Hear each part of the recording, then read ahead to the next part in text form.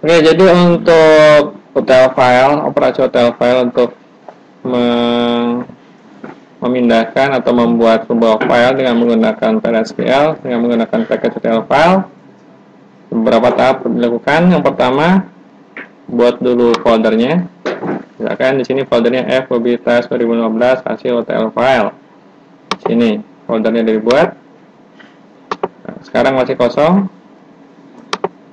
Lalu uh, kita login sebagai sysdba lalu grant ke publik. Tujuannya agar bisa diakses oleh semua orang. Kalau belum di grant hanya bisa mengeksekusi file hanya user sys uh, yang punya sysdba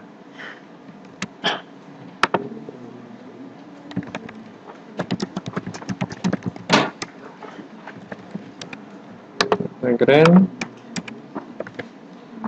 lalu directory buat direktorinya. Direktorinya misalkan saya kasih nama direktori UTL2 lalu selanjutnya kita grant read dan grant write ke public. Oh ya public ini untuk semua tapi untuk spesifik user juga bisa. Grant to user siapa?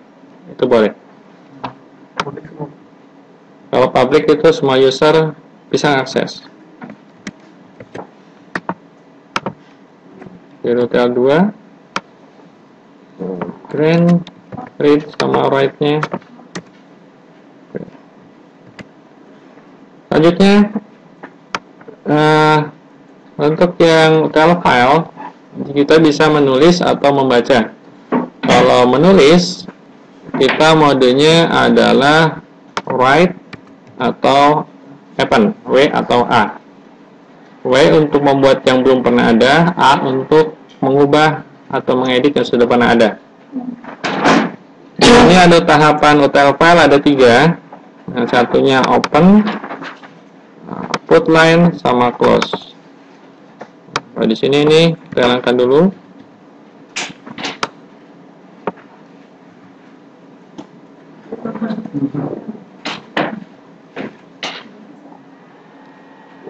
Jadi uh, di sini kita open put line sama close. Untuk formulanya untuk open ada tiga. Yang pertama dir utl ini nama dir nama direktorinya. Lalu yang kedua nama file yang mau kita buat boleh csp boleh txt. Yang ketiga adalah modenya w atau a karena baru kita buat sebagai W.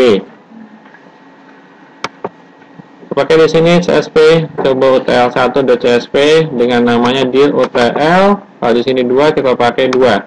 Tapi perlu diperhatikan di sini penamaannya harus huruf besar.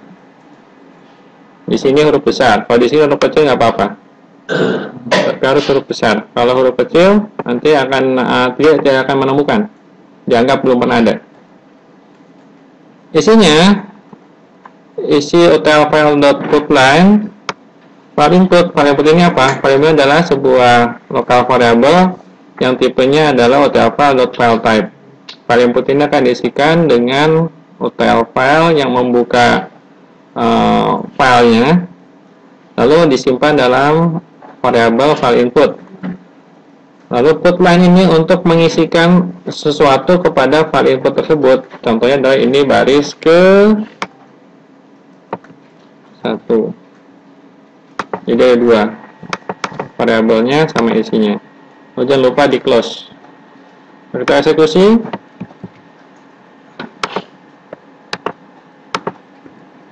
Berhasil. Kita lihat sekarang. Filenya ada. Kita buka. Ini baris ke satu. Jadi untuk yang hotel file yang tadi kita buat Kalau seandainya modenya adalah A, ketika modenya adalah W. Kalau modenya adalah A, dengan isi yang sama, kita hanya merubah mode A, kita eksekusi ulang.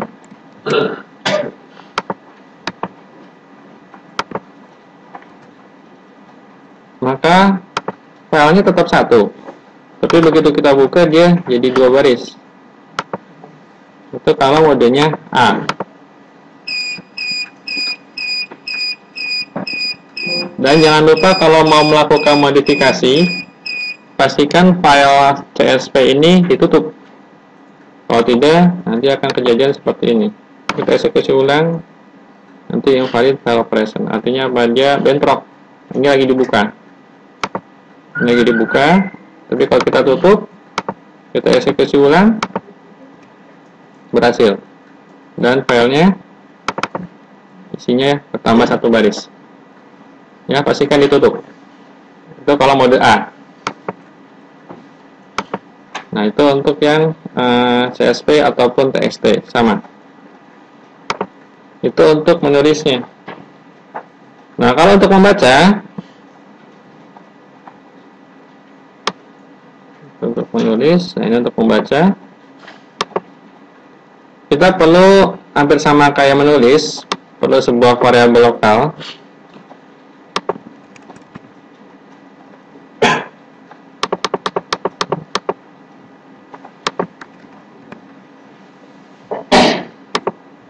sebuah variabel lokal. Ini untuk menyimpan apa yang di open. Dirnya pastikan yang benar nama filenya pastikan benar dan modenya R read. Kalau tadi untuk menulis W atau A tapi kalau untuk membaca R read. Kalau misalkan cuma satu baris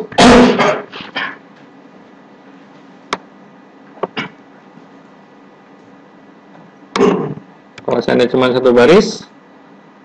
Kita lakukan f open line.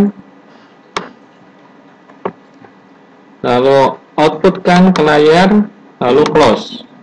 Cuma satu baris ya. Tadi kan isi dari CSV itu ada tiga baris.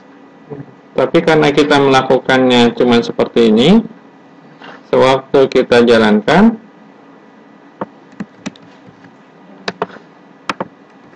nanti oh sorry server outputnya untuk LSQL Kalau kita jalankan. Ini cuma baris satu aja cuma satu baris yang tampil. Tapi kalau kita buat looping sebanyak data yang kita miliki misalkan kita tahu di situ ada berapa baris tadi? Tiga baris. Kita buat looping tiga di sini loop kita eksekusi ulang maka tampil semua baris. Kalau seandainya filenya yang tadi kita modifikasi di sini kita ganti jadi baris ke 2 baris ke 3 simpan. Kita close. Kita eksekusi ulang yang ini satu dua tiga. Dia akan otomatis ngambil baris yang sama. Untuk cara menampilkannya bisa pakai cara ini bisa juga pakai cara yang exception. Exception ini kita gunakan sama loop tapi loopnya basic loop loop and loop dengan harapan akan didapatkan suatu error. Karena kalau basic loop loop and loop itu syaratnya harus ada exit nya tapi di sini kita tidak gunakan exit when artinya apa? Nanti akan terjadi suatu kondisi di mana dia error dan error akan mengenerate sebuah exception. Exception akan menangkap sebuah error itu. Exception akan menangkap when others then di close langsung. Jadi kalau error langsung menutup. Jadi selesai. Jadi yang bersama, file inputnya tetap ada, tampungan untuk nampung isinya, dirinya juga kita sesuaikan huruf besar, sama filenya sama, modenya read, loopnya, uh, tampilnya ditampilkan apa tampungannya itu. Jadi get line file input, koma tampung artinya semua yang di file input, semua yang di open dimasukkan ke dalam variabel lokal tampung. Baru yang ditampilkan adalah tampungannya ini. Kalau seperti ini, hasilnya seperti apa? Hasilnya sama aja. Jadi boleh dua cara. Yang satu menggunakan loop, kita kita tahu pastinya berapa for loop atau loop yang lainnya. Yang kedua kita bisa mengandalkan exception. When others then di close untuk yang UTL file hasilnya sama-sama aja